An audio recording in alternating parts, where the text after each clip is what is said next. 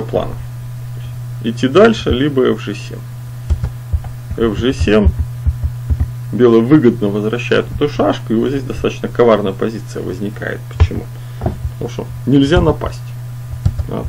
Очень хочется уже, как бы, привыкли мы к тому, что черные могут нападать, но в данном случае напасть нельзя, следует комбинация. Отдали, вернули, добрались до слабого поля все съели, победили. Очень плохо пойти GH6. Вот эта позиция для черных проиграна. Смотрите, пошли, пошли. Вот они параллельные шашки. И, как во многих позициях с параллельными шашками, кто первый нападает, тот и побеждает. В данном случае это белое. Нападать надо, никакого размена нету. Последует удар победой.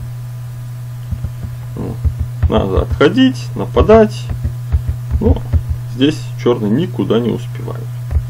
Пошли, следует размен, пора сдаваться.